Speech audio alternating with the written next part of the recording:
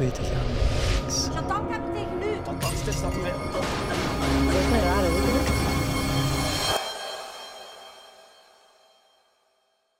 Ik ben nogal filosofisch ingesteld, dus de dingen die ik maak zijn ook nogal uh, allee, filosofisch. En het is de bedoeling dat je ook uh, reflecteert over bepaalde thema's. Ik neem kortfilm heel serieus, als een serieus medium. Dus ik vind dat we dan ook serieuze onderwerpen moeten behandelen. Voilà. De oorsprong van het verhaal is eigenlijk een, een trip die ik gemaakt heb in de, door de woestijn van weken. En ja, je zat in een soort niemandsland. En um, moest er daar iets gebeuren, niemand zou van iets weten. Toen vroeg ik me af van, moest er daar iets gebeuren en in hoeverre gaat het dan uw menselijkheid behouden? In hoeverre gaat het dan het juiste doen als mens? Dat idee heb ik dan uiteindelijk getransporteerd naar Vlaanderen. Eigenlijk, uh, daar ben ik uiteindelijk mee begonnen van, vanuit vertrouwen, maar het verhaal is eigenlijk nadien gekomen dan.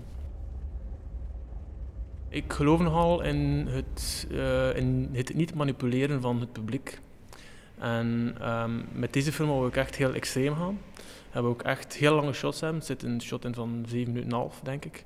En ik wil echt dat, um, allee, dat het publiek echt het moment ervaart, mee, meemaakt, voelt, maar tegelijkertijd ook de afstand heeft om te reflecteren over wat er gebeurt. Dat vond ik heel erg interessant.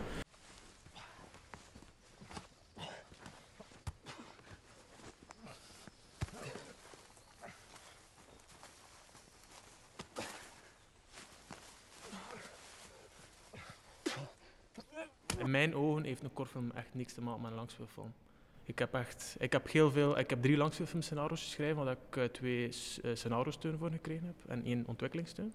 Dus ik ben al heel lang bezig met scenario's voor langspeelfilms, maar ik had geen ervaring in kortfilms. En ik heb echt heel lang moeten zoeken naar een manier om een kortfilm te maken en om iets te kunnen doen en iets te kunnen vertellen in een kortfilm. Want voor mij was dat echt niet evident omdat ik altijd hele grote, ja, heel veel te vertellen heb. Ik moest dat allemaal kwijt in uh, 130, 135 pagina's. In een langspeelfilmproject kun je dat.